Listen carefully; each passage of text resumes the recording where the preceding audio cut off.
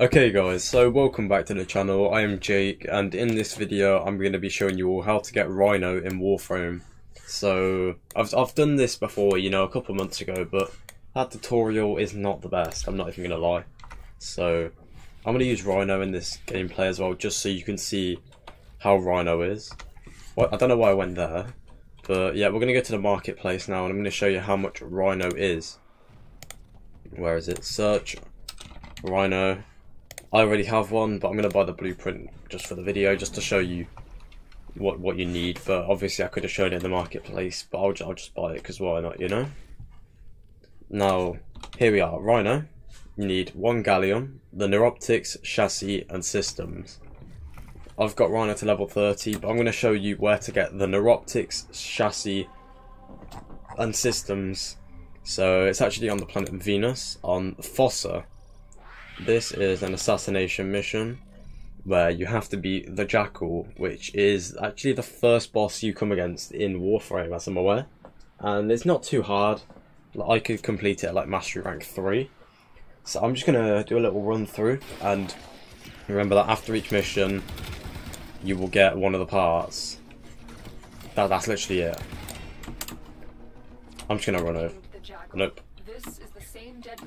I'm just going to run over to it though. I'm going to get there and I'll see you all in the boss fight. I'm going to do this one solo. I do not trust people with just this in general. This guy was AFK for like a good few minutes, so I'm just like, I'm going to give up. But yeah, Rhino is one of the tankiest characters. I'm going to show the abilities now. So you've got the Iron Skin, which, you know, you press 2 and or whatever you set the second ability to, and you get extra shield so you can just take hits better. I need to get more energy, and then I will show all the abilities. You know, I'll... Yeah, but the first ability is a Rhino Charge. Just going through these missions, again, like, level 7 is... It seems just so e easy compared to what I come against, like, now. Oh my gosh, that's high. Yeah, but we're going to get into the Jackal boss fight. I'm just trying to get to there now, and then I will go through everything that we need to do, because there's not really much you need to do. I'm kind of just making this video again because I wasn't I wasn't happy with the first the first video that I did make because it, it, just was a, it wasn't my best video. I'm not even gonna lie. Like the quality of it just was not good, and I'm gonna make this one the best I can.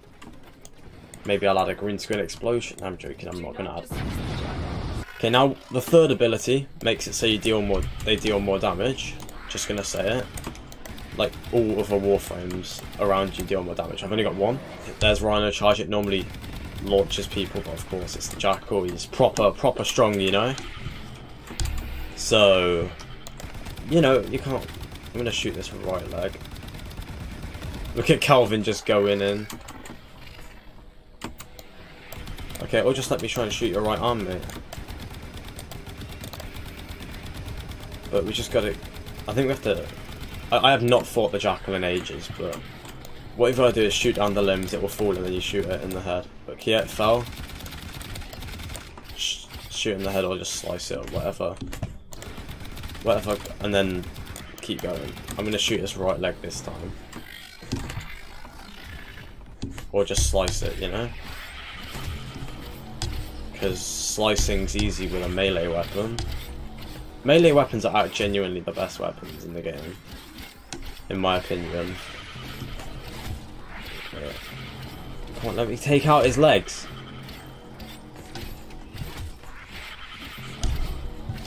No, no.